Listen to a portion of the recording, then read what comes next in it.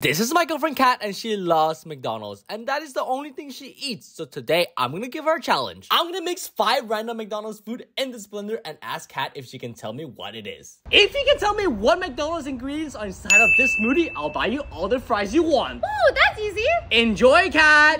Ooh, fries and chicken nuggets. Okay, okay. Cola and Big Mac. Oh, okay, okay. Chicken sandwich and apple pie. Wait, how'd you get them all correct? I'm an expert. If you all press subscribe in the next three seconds, I'll get my fries. Three, two,